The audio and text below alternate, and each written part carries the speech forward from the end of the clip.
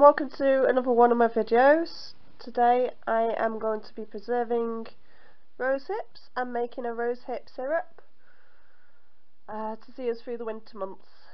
Rose hips are full of vitamin C so um, help keep the bugs away.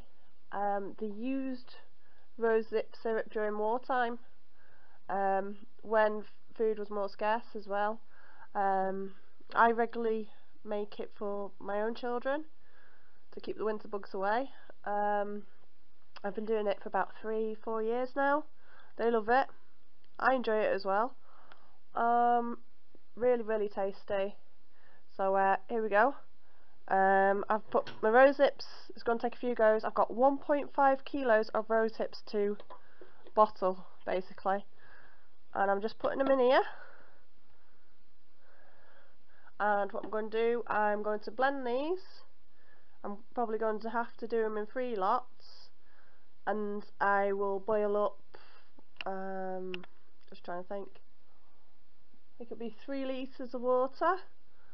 And once these are um, pulped and mushy I'll be transferring it to that water. So just bear with me a minute. I'll uh, come off whilst I blend this. You don't need to hear that. And um, I'll show you the next stage when they're blended. Right, I've brought the water to the boil. I've had to do two pans of it, that one's still coming up to the boil.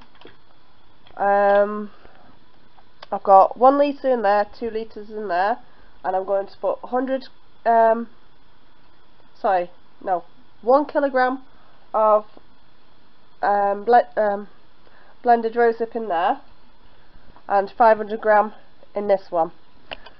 And that's what it looks like when you blend it up. And we'll put this one in now. And all I'm going to do with this let's not leave any in there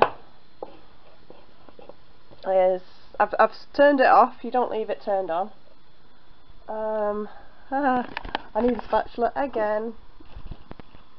Oh, should do this before I uh, get them out before I film, shouldn't I really? But here we go. Just make sure that's all in there. Just put the lid on and let that steep for 20 minutes. Um, and I'll do the same with that one when it's ready. And I will come back when that's done. Hello again. We're now ready for the next stage of making the rosehip syrup. Um, I've got my muslin cloth here in a bowl and the bowl's just to catch the juice in a minute. Um, it's now steeped for 20 minutes. Um, I've got two of these today. I'll just show you with the one. All I'm going to do is slowly pour that into there and hope the bag doesn't pour slide in whilst I'm doing this.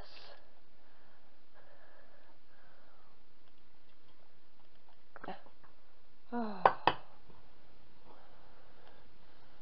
There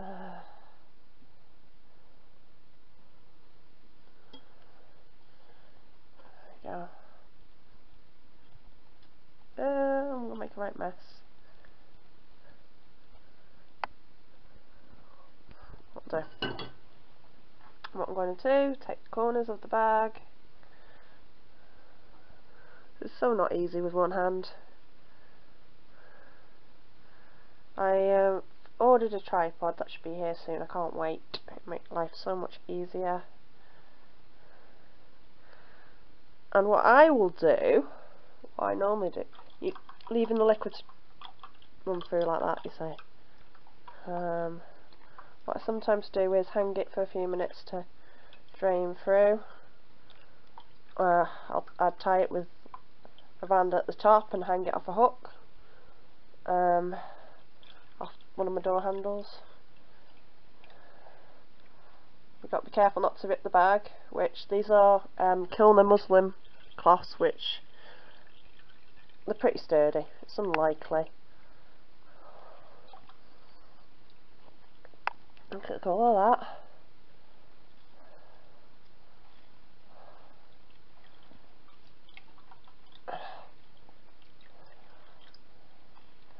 Right, I'm going to come off here because I need two hands to do this and I will show you the next step in a minute once I've drained all the juice from both of the pans. Hello, I'm back again. Um, I've strained all the chopped rose hips through the muslin cloth um, and put it back into the pan and what I'll do next is simply put the pan lid oh it's here. Put the pan lid on it.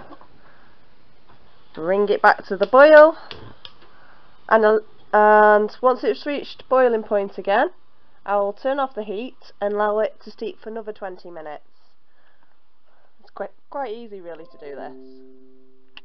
And I'll be back again when I'm ready for the next stage. Hello again, we're now on to the next part of the process. This has been steeped for another 20 minutes so what I'm going to do is take this and again I'm going to strain it through the muslin bags. I'll see if I can do it without putting you down but no it's too heavy. Um, so I will strain it now and then I will come back to you in a minute. Um, I'm having to do this into two separate pans for the next part because that one's not going to be big enough to add the sugar and it's going to overflow. So back in a second. Hello again, that didn't take long at all. Um, I've um, strained the fluid through now and got rid of the remaining bit of yucky stuff that we don't want in our syrup that we're going to use to make cordial. Um, I have in these um, 400 grams of sugar in each. So, they both get 400 grams in. Um, I've weighed them out in advance, obviously.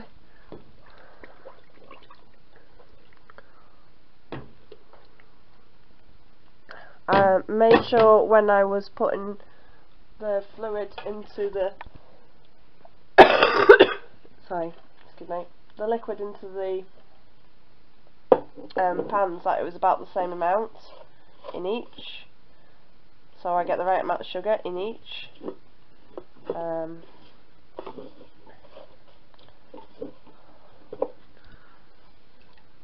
there we go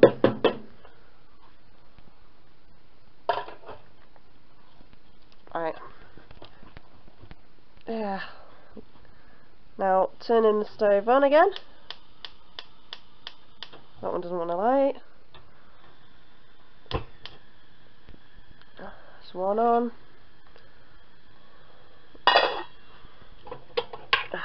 Pan lid. Ah, wrong one. That's for the big one. I don't know why my pan lid's gone. Awesome. Um, I'll have to find that in a minute. Don't really need it anyway. At this stage. Just um, see why that's not working. Play.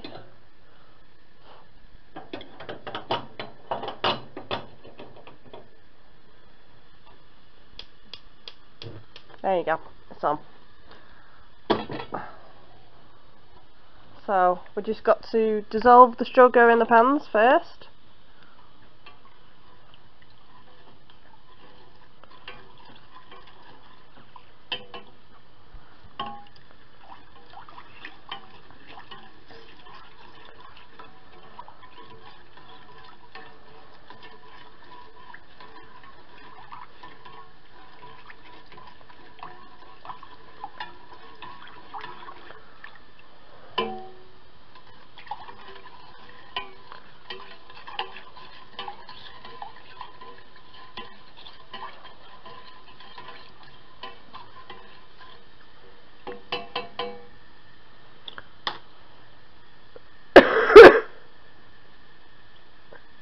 And what I'm going to do is once the sugar's dissolved I'll simmer it for another five minutes and then I'll come back and um, tell you about the next step.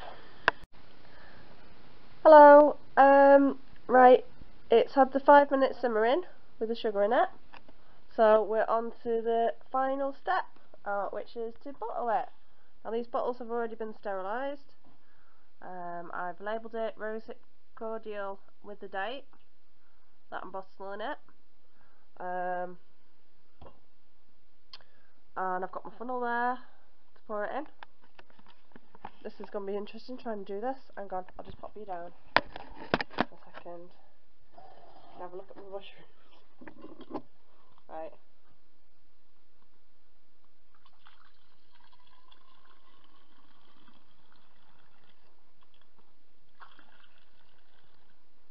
Interested to see how much we get out of that actually because I wasn't sure how much we'd be getting. I don't fill it right to the top because I don't want my jar to side, my bottle to smash. But I think we should get three of these done, which is plenty for the winter. And just look, I've left a bit of a gap there. These are good because they're airtight. Um, so it keeps it well. I'll just pop that to one side a minute. Do the next one.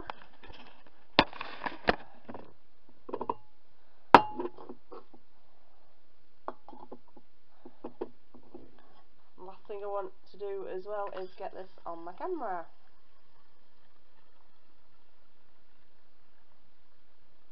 Careful when you're doing this because it'll make the glass quite hot. You don't want to burn yourself.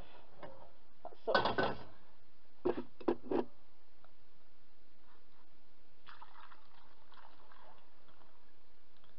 Uh, try not to spill any on the floor, like I'm doing now.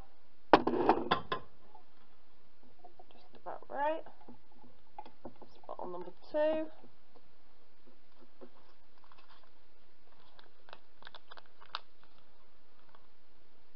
That's good. I think we'll get. Oops, just tore my label. Doesn't matter. It's only so I know. It doesn't have to be perfect. It's only so I know when I bottled it. And the third one.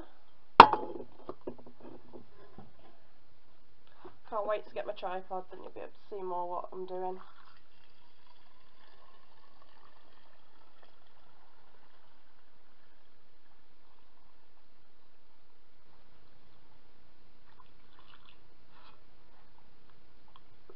There's a little one.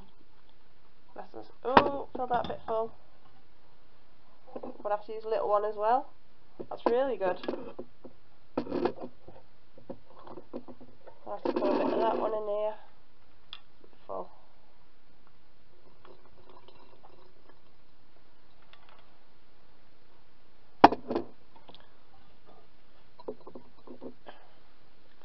Which will actually be perfect because I go oh, away for a few days so I could save this for when we go away.